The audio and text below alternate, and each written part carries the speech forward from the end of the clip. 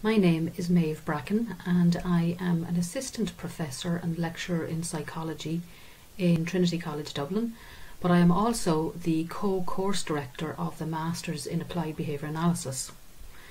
So for those of you that are interested in possibly studying ABA or Applied Behaviour Analysis, um, I suppose we really should have an understanding of exactly what ABA really is and some people have different opinions about what it actually is but in in actual fact what it is is it's a field of psychology which is concerned with analysing and modifying human behaviour.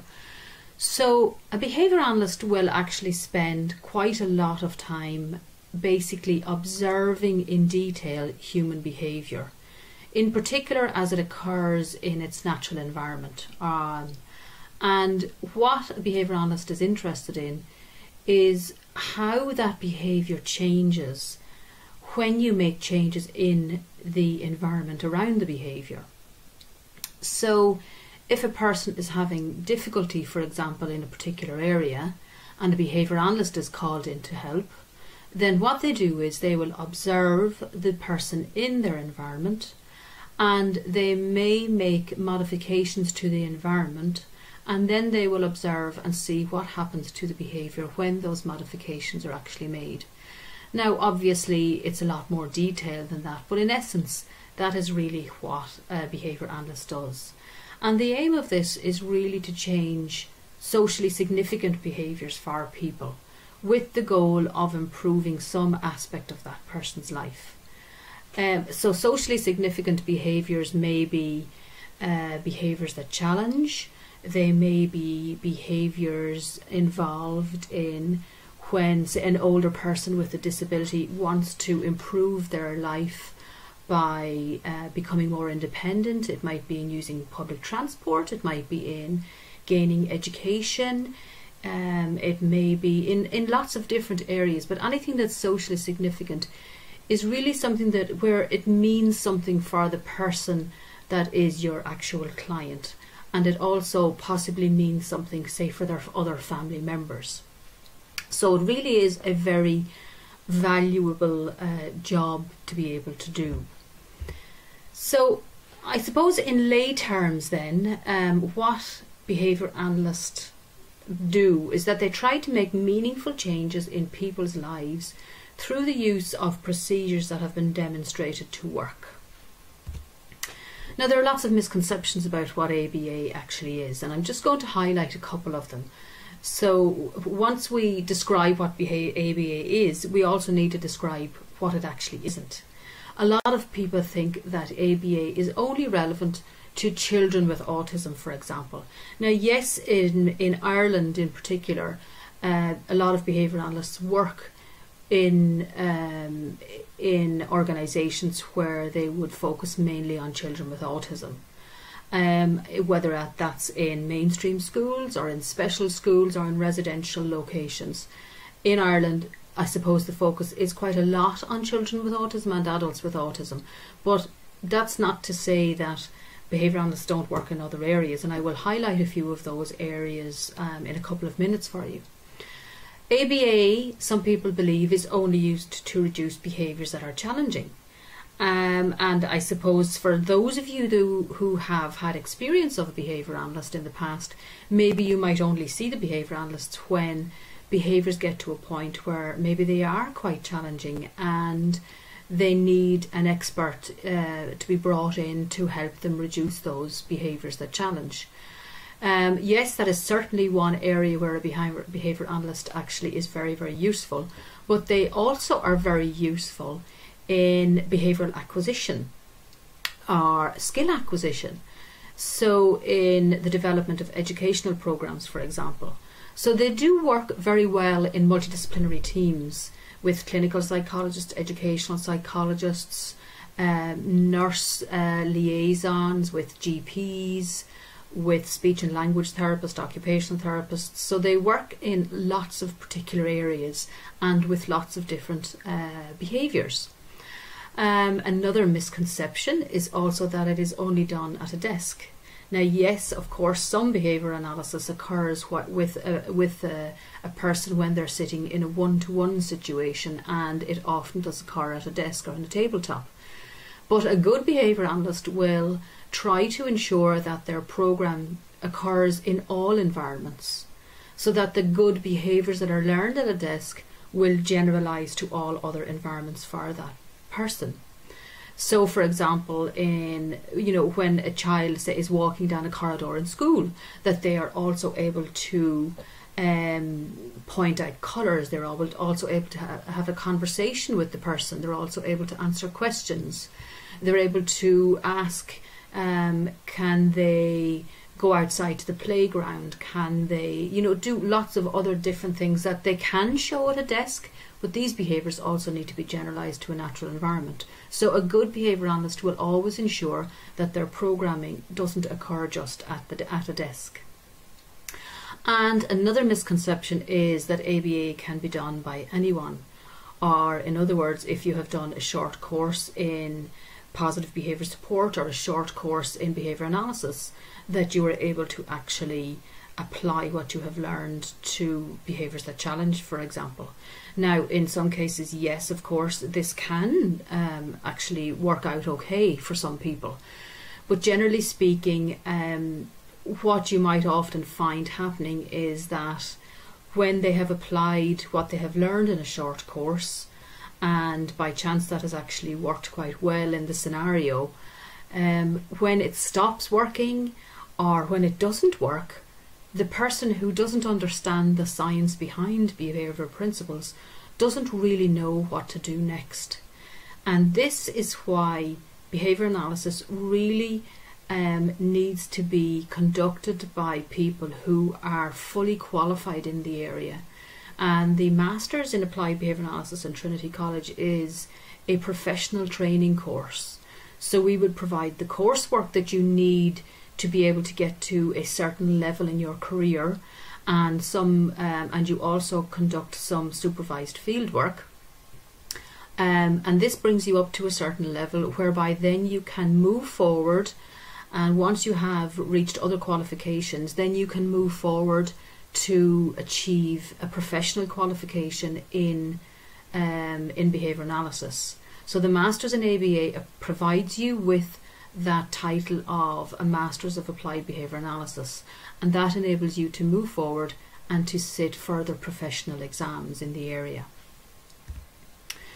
So, what can we do with ABA, or where, where else does a, behaviour analyst actually work? Well, as I said, uh, most people are used to seeing behaviour analysts or behaviour therapists or uh, behaviour specialists in the fields of psychology and in education. But apart from those two areas, you have behaviour analysts who work in the areas of sport, in business, in public health, in gerontology. All of these areas are very busy areas for behaviour analysts. And once a behaviour analyst understands the principles of behaviour in general, they should be able to apply those principles in lots of other areas outside of psychology and education. A lot of the very successful businesses across the universe will use behavior analysts to help guide them in the decisions that they make, whether it's about a sustainable business package that they're trying to put in place, whether it's how to motivate their employees, um, how to do performance feedback, and how to train their employees. These are areas that behaviour analysts are very, very good at. Um, in sports, I mean, I'm sure you have all heard of sports psychologists, and this is a particular area where behaviour analysts perform very, very well because they are expert at knowing what reinforces behaviour and how to motivate people and how to put uh, training packages in place. So this is obviously, as you can see, uh, this would fit very well in with sports package with a sports psychologist uh, position the areas of public health. Um, how do we motivate people to follow the rules? How do we um, encourage people to um, to do what they're supposed to do um, to ensure that um, general public health actually occurs rather than just working for the individual themselves. So, in our recent pandemic, of obviously, um, uh, the area of public health promotion was very, very important. And behaviour analysts are very um, skilled at um, using the behavioural principles to ensure that people are encouraged to follow uh, the rules of public health promotion um, and other government initiatives that might be put in place at particular times.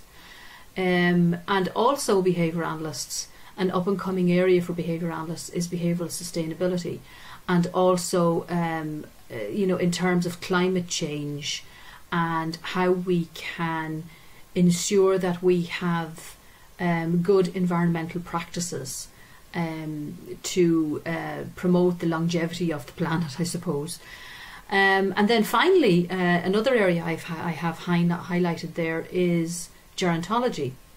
Now, as our population is aging and that aging population um, is becoming more substantial in number, the area of gerontology is is a quite an exciting area for behaviour analysts to be involved in, uh, particularly in the area of health promotion, um, in terms of um, how to offset the effects of of um, Alzheimer's and dementia, etc., etc.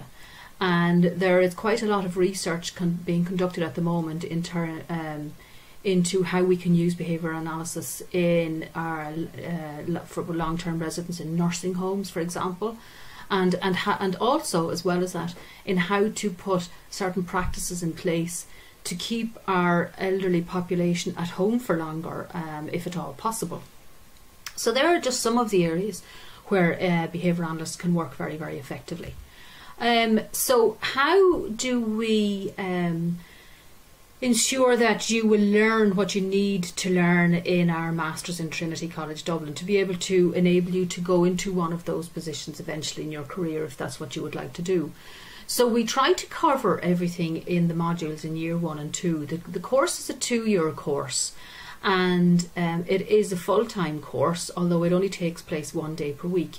But all over the two years, in year one, we look at, we start out, I suppose, by concentrating a lot on the science behind behaviour analysis and the philosophy that underpins all of that. And it is essential that you gain an understanding, a deep understanding of the science and the, of the basic principles, because this is what carries you forward in times of difficulty when you become a behavioural analyst yourself and when you're putting behavioural interventions in place.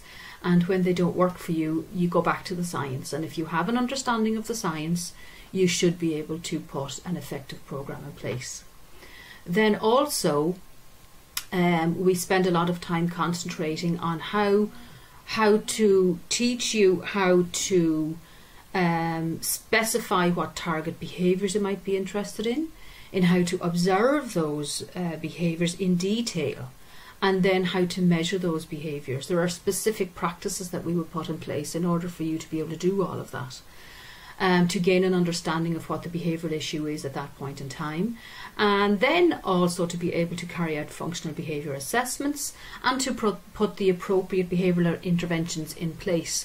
So we spend a lot, most of our time in first year on those um, areas um, and then in second year, we concentrate a lot on your research dissertation. Every one of you in second year is required to conduct a piece of independent research um, with the help of a supervisor.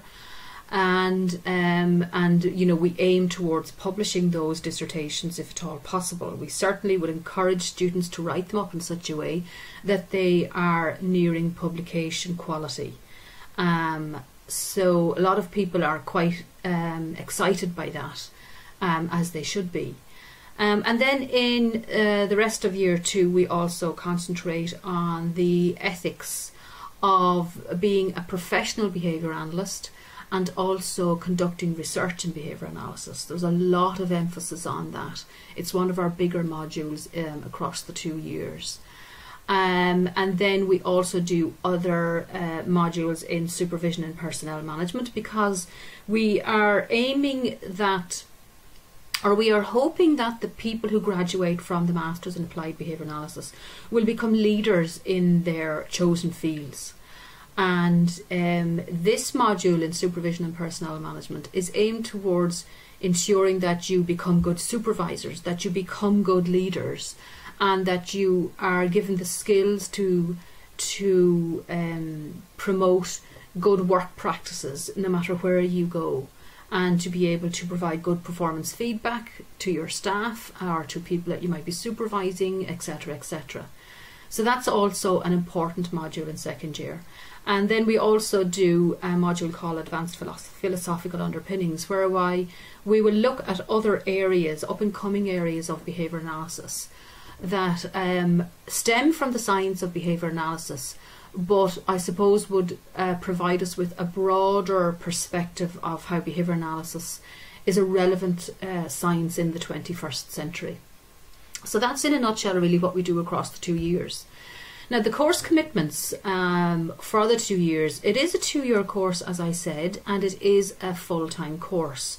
Despite it being full-time, you are only in class one day per week throughout the year. In first year, the classes occur um, every Thursday and they occur on campus. Um, and you so you are required to be in from nine until five or five thirty each Thursday. And you so occasionally there might be recorded sessions that will be um, sent to you on Fridays, and this is extra information. You don't have to be on campus on Fridays, but there may be online recorded sessions on a Friday. Um, and you are also required to conduct 100 hours of supervised fieldwork, which I will go into in a little bit more detail um, in the next slide. In year two, you are required to be on campus every Wednesday from 9 until 5.30 and you are also required to get another 100 hours of supervised fieldwork. Now, although it is, we are we are only on campus one day a week, it is still a full time course because of the amount of hours that you put in yourself outside of class time. Uh, the student commitment is quite large on this course um, because of your supervised field work and because of the amount of reading that you actually have to do to enable you to produce um, a high standard coursework, a high standard of coursework. So it is a full time, it does require a lot of input, even though you're in only one day per week. Now, the supervised field work. You are required to do 100 hours of supervised field work every year. Now, most now, uh, the fieldwork site and the supervisor of that fieldwork, you have to independently source yourself. They are not provided by Trinity College.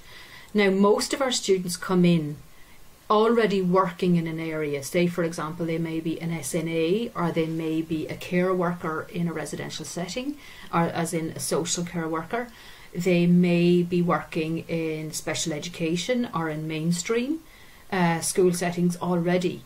And all of these um, work settings are suitable um, and, and are definitely considered to be suitable sites for your fieldwork. And most of our students come into first year with some um, element of that already in place.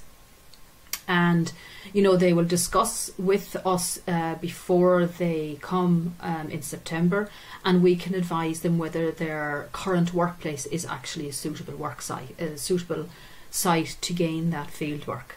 For those that come in without the field work uh, site, we can um, we can help if, if they can't source one themselves we can provide some information and we can point them in certain directions where we um, we will be quite um, comfortable that they will be able to gain that, that supervised field work. Um, so the 100 hours of field work that you get each year, across the year, say across 10 months, that amounts to 10 hours um, per about it's about four to five hours per week really across the year that you really have to get in placement. It doesn't sound like a whole lot and it isn't really a whole lot. And to be honest, most of our students actually do more than that because they're already in the workplaces. Now that 100 hours, for that 100 hours of field work, you have to get five hours of supervision from a board certified behaviour analyst and this is the supervisor that you independently source um, and we can provide um, advice on where to find those supervisors also. So, now to enter the course, there are certain requirements, obviously. Um, and these highlight this this slide highlights the minimum entry requirements. Now we offer 15 places every year on the course, so there is quite a lot of competition for the places. Um, and your application form is very very important. And you, when you're filling out your personal statement on your application form, we we are quite keen. the The entry committee is quite keen to see what you write there. So it's important to write a good personal statement, and to state why it is that you want to study um, applied behaviour analysis at Trinity College. So, in order to gain um, a place on the course, you need a minimum of a 2 1 honours degree in psychology or a related field from a recognised third level institution. Now, the related fields can can include a broad area, um, uh, such as education, special education, nursing, social care, early childhood education, etc. We've had a lot of people on the course from lots of different areas, um, and they generally, you know, we don't know from speaking, you know, while speaking to from one person on the course to the next, what their background actually is. Um, obviously, we have all of that information on their application form, but really the people that end up sitting in front of us in the classroom come from a, a broad array of backgrounds, actually, um, which is great because everybody is able to learn from one another in their particular area. Another um, minimum entry requirement is that you have a fluent command of the English language. And for those of you whose um, first language is not English, or for those of you who haven't conducted your primary degree through English, um, there is lots of information on the postgraduate website of Trinity College um, um, about how you would gain um, a certificate, sorry, to say that you are that you have a good command, a fluent command of the English language. So there's lots of information there, either from the international office or actually on the postgraduate website. Um, and when once you are accepted on the course, each um, individual has to undergo Garda or police vetting because you uh, because of the coursework requirements and the supervised fieldwork. It's likely that you would be working with vulnerable populations and this is why we have to have you Garda vetted or police vetted um, before you before you start on the course. And all of this is organised through Trinity College. So uh, once you um, accept your place on the course, um, you will start getting emails about that from central uh, offices in Trinity College. Um, and then also another um, requirement is that once you're on the course, you have to have membership of a professional organisation. Now, if you are eligible for a graduate membership of the Psychological Society of Ireland, you must maintain your membership in that organisation. And if you don't already have membership of that, you must join that organisation, the Psychological Society of Ireland, if your primary degree is in psychology. If it isn't in psychology, you have to join. Um, another professional organisation which is relevant to behaviour analysis, for example, the Association of Behaviour Anal Anal Analysts International. So they are the, um, that's just a little bit of information about the Masters in Applied Behaviour Analysis in Trinity. If you're looking for a little bit more information about that, please go on to the website um, the postgraduate website, and you can see the link there www.tcd.ie courses postgraduate, um, and that will give you lots more information on the course. Um, so thank you for listening, and I hope to I hope this has given you a good bit of information, and I hope to see some of you um, in the coming year. Thank you.